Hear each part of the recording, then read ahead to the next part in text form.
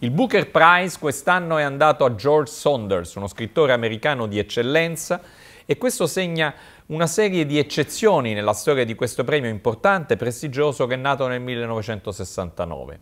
La prima eccezione è che va a uno scrittore appunto americano, in realtà è la seconda volta, già l'anno scorso Paul Betty vinse.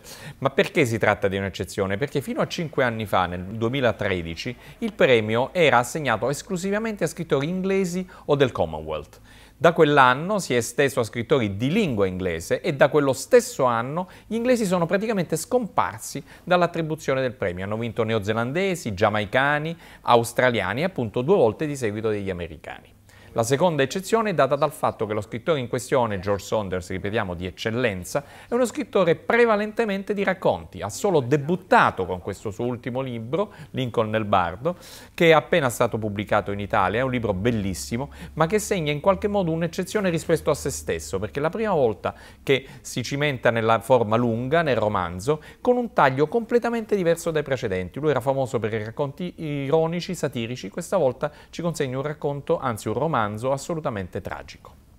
Il Booker Prize è uno dei grandi premi internazionali, non è ancora a livello del Nobel, forse non lo sarà mai, ma è certamente a livello del Pulitzer, in qualche modo cementa, consacra la reputazione internazionale di un autore. A differenza però del Nobel, si è sempre caratterizzato per scelte più puramente letterarie, raramente si sono viste delle scelte legate alla nobiltà del messaggio, alla correttezza politica, all'importanza del momento. Ebbene, dal 1969 ad oggi, quindi parliamo di eh, 40 49 anni, 48-49 anni, il premio raramente ha seguito questa logica ma ha cercato di puntare esclusivamente sulla qualità letteraria. Quindi il fatto che uno scrittore americano da un lato e dall'altro lato legato a una tradizione satirica che viene convertita al dramma, alla tragedia, ci sembra una ventata di aria fresca.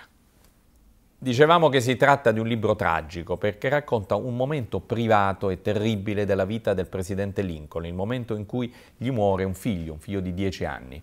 Ecco, la bellezza del libro è da un lato nella pietà nei confronti di questo uomo e nello stesso tempo nel modo in cui mette in parallela due elementi. Da un lato la grande storia, Lincoln è uno dei protagonisti della storia dell'Ottocento, è responsabile di uno degli atti più importanti, più significativi e più moralmente alti del 1800 e parallelamente appunto c'è questo dramma privato che lui vive con un'enorme dignità ma con il cuore spezzato. Saunders racconta che gli è venuto in mente di raccontare questo strazio vedendo la pietà di Michelangelo in Italia. Quindi abbiamo da un lato la grandezza di questo presidente che riesce a far abolire la schiavitù e da un altro lato il suo strazio privato e nello stesso tempo il mondo che ignora questo dolore personale e vive soltanto le sue scelte più epiche, più importanti e più imprescindibili.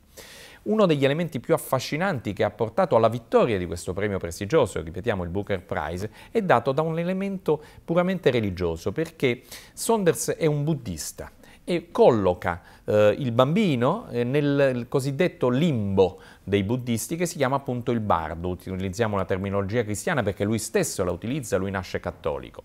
Ecco, lui cerca di capire che significa vivere in questa condizione dove non si è né da una parte né da un'altra e cerca di chiedersi come un grande personaggio che sfida il mondo, che spacca il paese per una causa giusta, cerca di confrontarsi con un dolore terribile che non lo lascerà mai fino alla fine, che sappiamo essere tragica anche per lui perché verrà assassinato.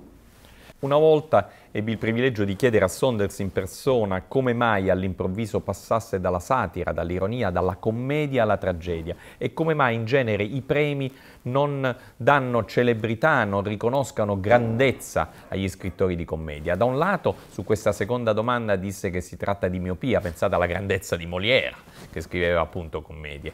E da un altro lato mi disse che non c'è mai differenza tra la commedia e la tragedia, perché la vita è piena di gioia, di incanto, ma anche di dolore. Un saluto da Central Park West.